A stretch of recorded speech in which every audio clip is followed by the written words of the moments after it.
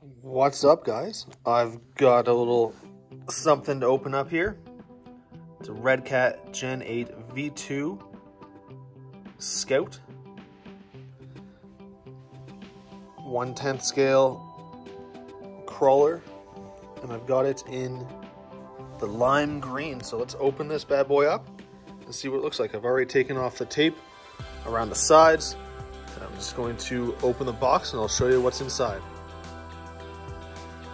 So it comes nicely wrapped. That out of the way. So here's the lime green. Right there you can see the controller. I'll pull this out of the box here. It's got that out of the way. In here we've got the owner's manual, body posts, light clips, some extra screws. Put that off the side.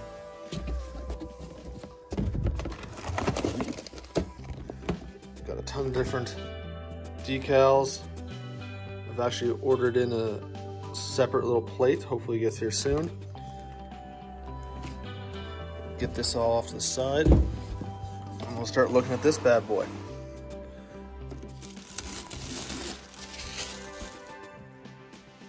Looks awesome, feels really nice.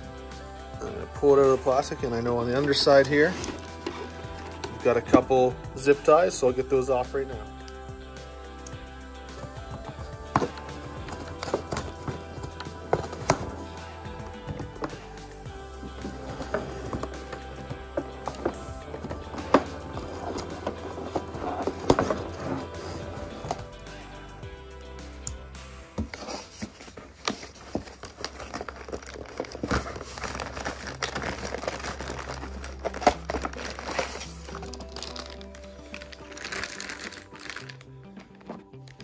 We got the remote here.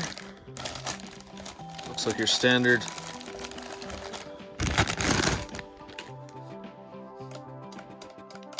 remote. A couple different options up here so I can get it open.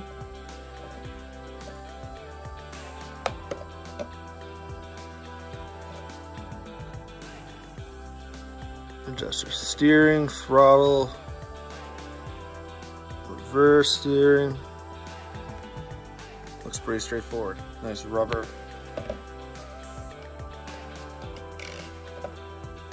Yeah, should be good for my first crawler. Always something you can upgrade down the road.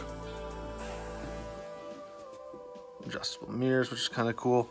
Would have been nice to see, other than just a decal there, a uh, actual printed door handle and gas cap. But I know those are things you can add on after the fact. Let me get it out of the package here, one sec. So I'm not sure if I already said this, but this is my first uh, hobby grade crawler or RC. So I'm probably gonna say a lot of different things wrong and not know exactly what I'm talking about, but uh, leave a comment below and correct me where I uh, need correcting. So nice clear windows there. Suspension's awesome on this little thing.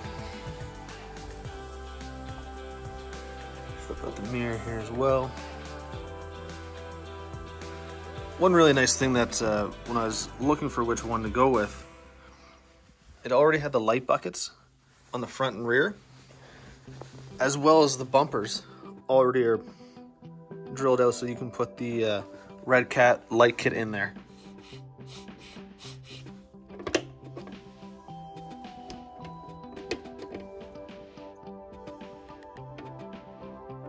So I heard a trick online that if you grab the front here and just pull up, it comes off a lot easier. Now I did loosen the body a bit uh, before, but it definitely made it easier to uh, to pull up there originally.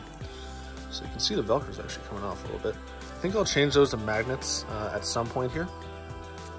We've got the front bumper, again, already slotted for lights in there. 25 kg servo, a 550 brushed motor. On off here. Now I've heard mixed reviews on how waterproof, quote unquote, uh, the receiver here is. Nice low center of gravity for the battery tray, so it keeps everything centered. And mounting posts for a separate body. I've heard the Pro line ones work really well. As you can see with the rear bumper as well as the front, uh, it does have some adjustability. I think you'll run into issues with the front, uh, just bumping into the servo here, so you might have to trim that back a bit. But all in all, looks good. Classic sliders. These can definitely get upgraded down the road. Flipping it over. They've smoothed out the skid plate here from the original. Everything looks metal under here. I know these are plastic, but again, little upgrades.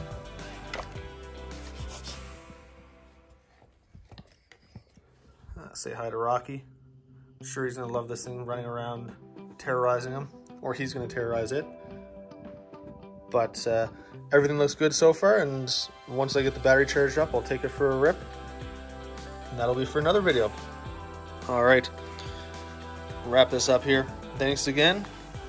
Checking out the Gen 8 version 2 of the Scout 2 by Redcat.